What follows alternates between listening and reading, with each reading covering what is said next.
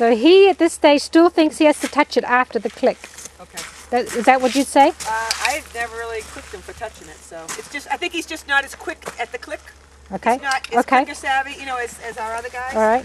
So that he just he has momentum going, and he just kind of keeps, keeps Okay. on going. See, I just don't think he he reacts like our horses do to the click. You know what I mean? He's a little slow, Yep. Maybe it's just it's so distracting. But Ruby's really fast at his reaction to the click, and he still goes for the target. So He does? yeah, he still go, thinks he has to still. Yeah, or he's just he's just going and he doesn't know how to slice. He doesn't know how to slice yet.